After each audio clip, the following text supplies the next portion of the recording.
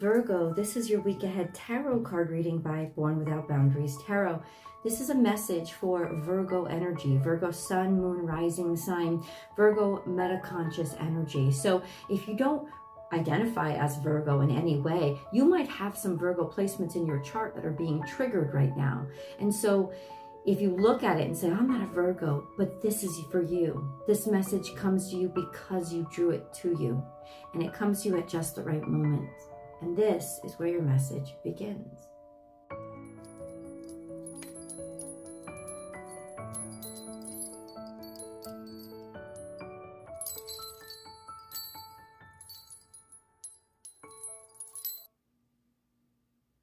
And it's your energy.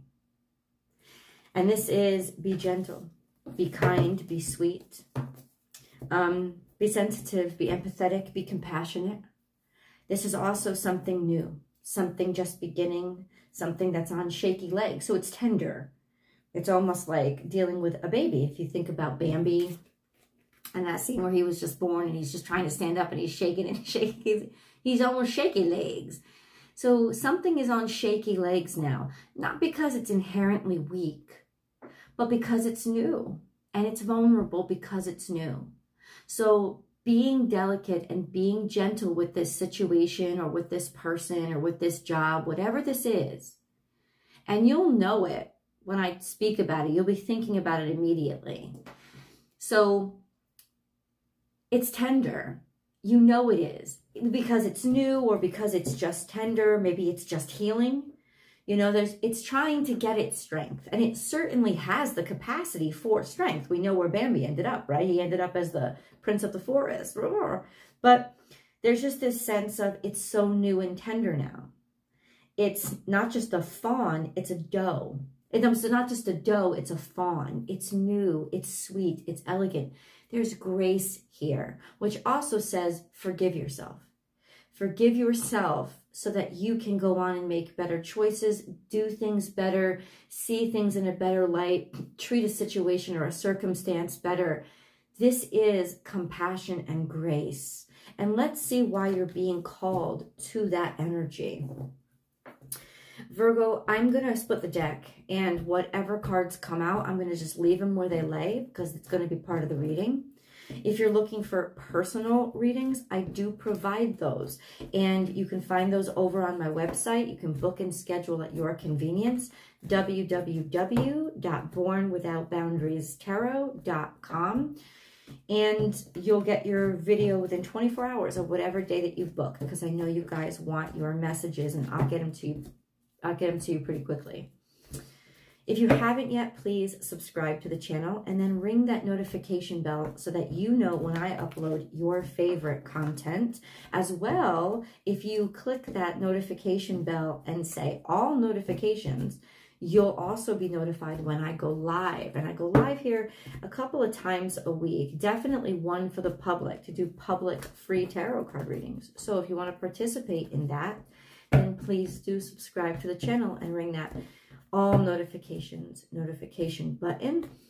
And then if you'd like to become a member, you can get access to members only live chats. I'm almost done.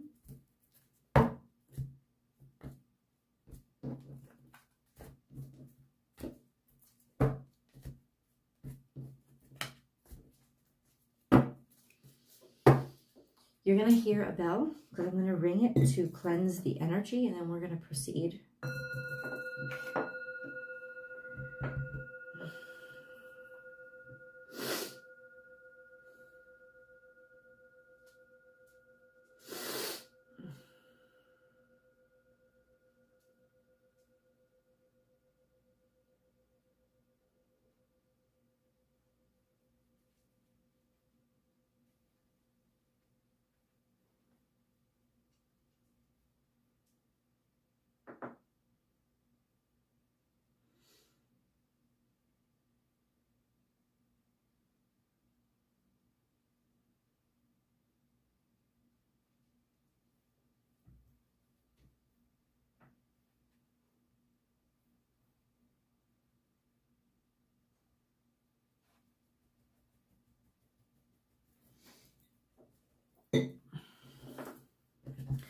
Virgos, happy birthday. And I should have said that last week because we've already started Virgo season, but happy birthday. And I wanted to point out that there was a beautiful and very powerful new moon that just happened on September 2nd or 3rd, depending on where you are in the globe.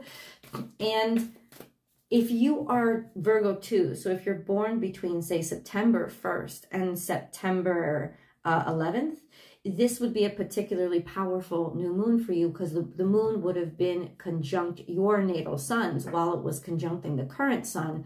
The current sun, therefore, was also conjuncting your natal suns. And your natal suns sit in opposition to where Saturn is currently.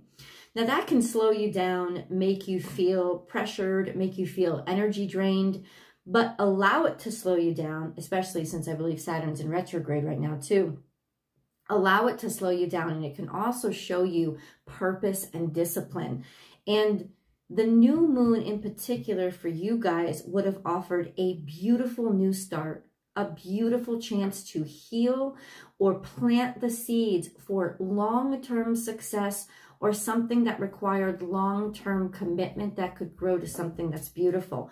But because it's in opposition to Saturn, that new moon would also require that you take things slow and that you do them right. And there would be an exceeding amount of discipline required. But at the end of that, say by the full moon in Virgo during Pisces season six months from now, there will be beautiful results that could be yielded. So just so you guys know, especially Virgo 2s, but all of Virgos, this was a particularly powerful new moon for you. It's still very much impacting you because the sun, the sun is still conjunct your natal sun and you still have that opposition to Saturn. Basically this whole year, Virgo 2s, to really challenge your patience with yourself, your patience with your world, and challenge to see if you are disciplining yourself um, well enough, if you're meeting as high expectations as you're capable of. So if you want to know why you are being challenged, it's because Saturn is in opposition to your natal suns all this year. FYI. Okay, so let's let's go with what we have here, all the future, which means the past has cleared, but something is on shaky legs. It's new, it's tender, and it's going to need your patience and your compassion, right? Like Bambi's mom didn't rush him, hurry up, right? So this was a sense of let it be on shaky legs, let it be new, let it be vulnerable right now. And then we have let it shine. You need to say something or talk about something this week. You need to let people know or put a spotlight on it. Let yourself shine. Let yourself be seen. Let your voice be seen. Let your feelings be heard let let it out let it be seen. Peacock energy is resurrective. It's it's akin to phoenix energy so this is scorpionic energy.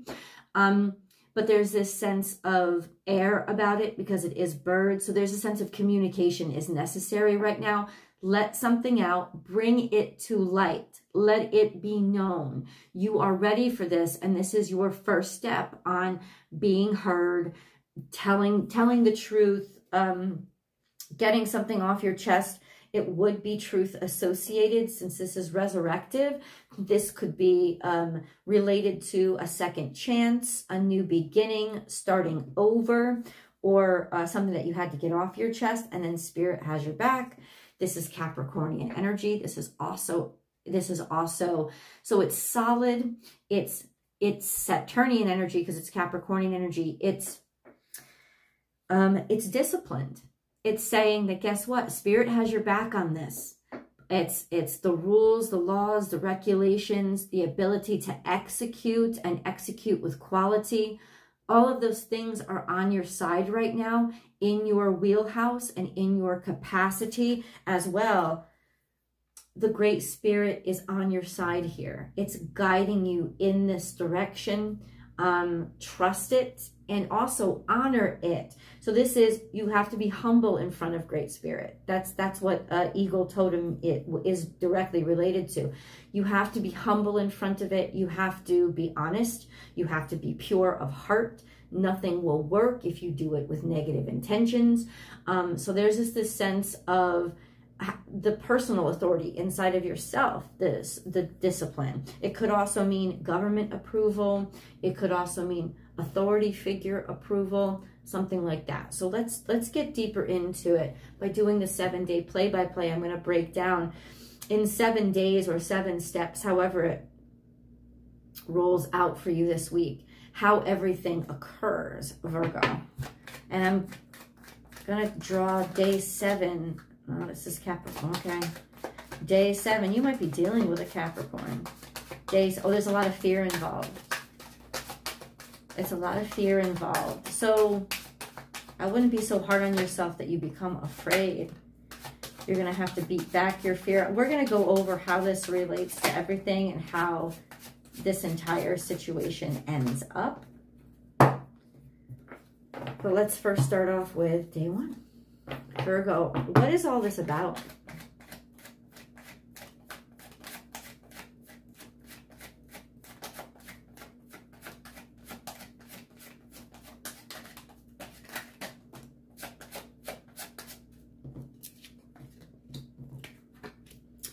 Queen of Swords, uh, plotting the way forward. She's my GPS card. So when she comes up, this is about being objective, Uh, intellectually objective and not getting emotional. Not that she's unemotional, she's but she keeps her emotions in check and she just sees the way clearly. She sees logically, she's very fair, she's very straightforward, she's very to the point. You could be dealing with a female air sign or this could represent you since you are ruled by Mercury, a sense of kind of pragmatism and logistics, the way forward. How do I move forward? Oh, you have divine counterparts here um, a fair choice of how to move forward, also a clear, fair decision of what is right and what is wrong.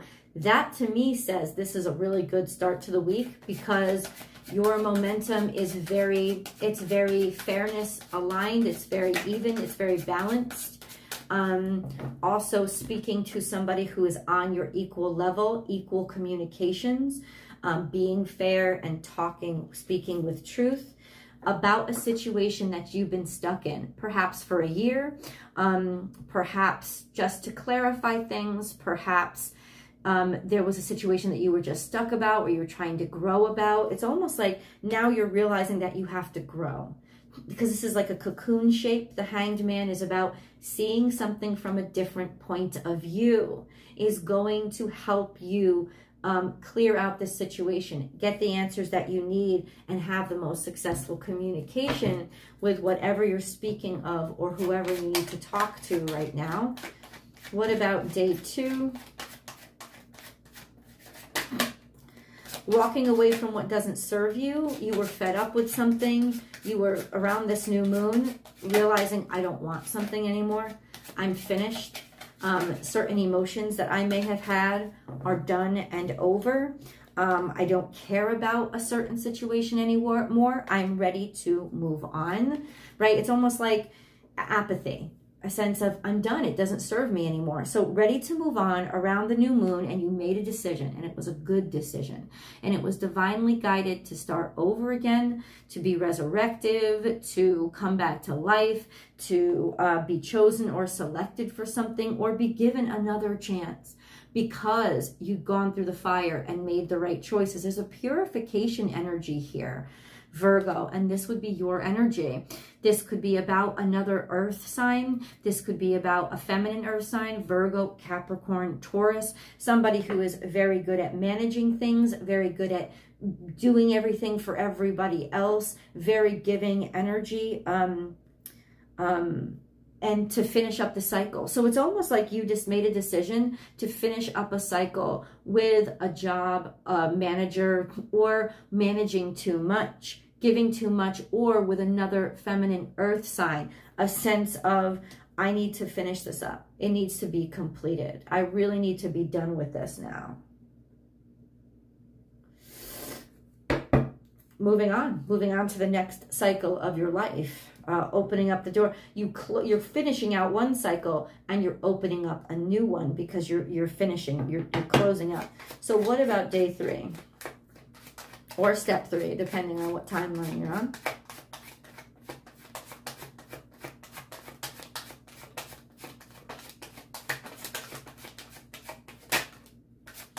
Uh, you had to make a choice. This is a decision to move forward and move forward in a different direction, and you have this sense of you've been looking at this direction, you've been desiring this, you've been wanting it, you knew that it was right, but you weren't exactly able to let go. But now the world is your oyster and you're open up to different experiences. You may have your eyes set on a particular, a certain one.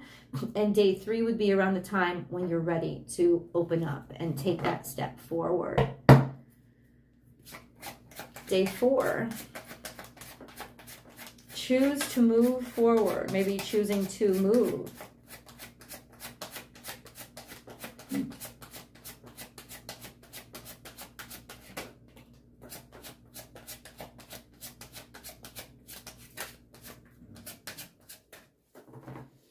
There was disappointment. Facing a, a, past disappointment, something in the past that you wish you could take back, something in the past that really hurt you something in the past that you hadn't let go of or or or, or just needing to face it and confront it. Because check this out. This is what i love about the five of cups. If you see them they're looking at sometimes this is called the don't cry over spilt milk card. Like it happened. You can't do anything about it. It's done. It's over. Turn around and you see you still have two cups left your focus is in the wrong direction. Your focus is in the direction of what you lost instead of what you could gain. And what you could gain is Two of Cups. So you go from losing something that's social, something that's like party fever, maybe friends or friendships or or something that is more generalized to something that is very specific. A unique bond, perhaps. That's the 2 of cups is between you and somebody else. This sense of you may have been a good time, but it's in the past. Turn around and look at the beauty of a connection or an opportunity or something fulfilling that is actually still there for you because there is something still there for you. What about day five?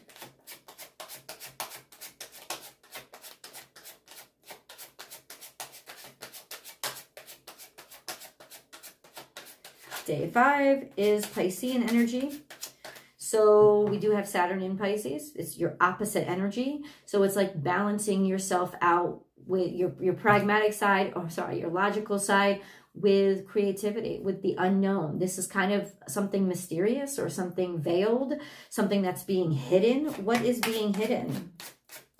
This is also, once again, new moon energy. What's being hidden? Because this is not a time to hide stuff. Clarify the moon energy. What was being, this is usually emotions that need to come out or somebody's feelings or actions that were being veiled, right? It could be deceptive energy, but it's upright, so it's not necessarily malignant or malefic. Um, there's not necessarily malice behind it, just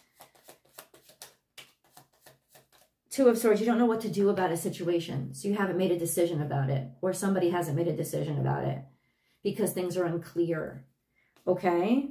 This was the new moon. Maybe you weren't sure. Maybe you weren't sure of your feelings or you weren't sure how to speak of them or you feel like you were trapped between a rock and a hard place because of things that you had hidden or things that were hidden or just confusion, right? So what should Virgo do? Make a decision. Make a choice. Decide. Decide over the situation. You know, decide based on your faith because Pisces is the only way you can get through the nebulous of Pisces is with faith. That's the only way because words don't make sense. So trying to make sense of this won't make sense. You've got to choose and decide with faith. That's that's the only way you can. What should this decision be?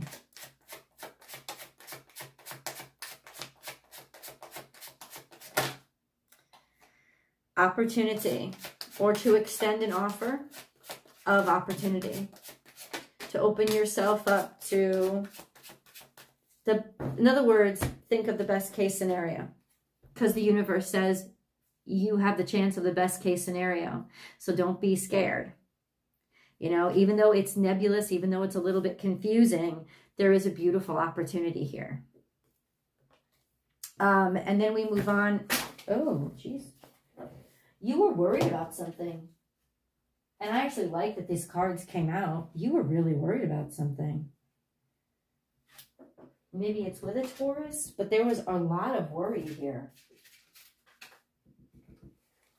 There was a lot of worry, maybe pain, illness, sickness, right? Something that, something that it's almost like you, you knew you loved, you knew you cared about, um, maybe wanting to make a commitment or wanting to make a commitment to somebody or an actual commitment or opportunity being extended to you, maybe from somebody in the past, somebody that you've loved a while or talked to for a while or haven't heard from for a while but still think about. But there was a lot of stress, there was a lot of suffering, there was a lot of pain. So it's something like on the sixth day, you kind of have to confront this. You, you kind of have to confront this, even though it scares you, even though it's worrisome, even though, or if somebody is still in pain, there's a sense of um, showing them love, showing them compassion, showing them kindness, or showing them um, maybe even self-forgiveness here. Um, let's get into the moon card because it's very important energy right now before we get into day seven. I'm going to go over to the extended to cover day seven. Adjustments are required. So there are changes. Maybe feelings have changed. Maybe emotions have changed. Or simply put, in order to move forward, you do have to make adjustments. And this is a part that you have to accept. Accepting it. And maybe you were scared. You're scared that feelings have changed. Or you're scared, can I adjust the way that I need to? Well, fear is never a reason to stop. You're only halfway there, but you are halfway there. So there's just this sense of, yes, make the changes, especially if you know what's making you suffer or what's hurting you the most, where you need to forgive yourself or somebody else. Let's go over to the extended, guys. I want to know what this is all about. We're going to get into day seven and continue this reading there. The link is down below in the description box. I've also pinned it to the top of the comment section, or you can just head over to my channel on Vimeo, Born Without Boundaries Tarot on Vimeo, and I'll see you guys there.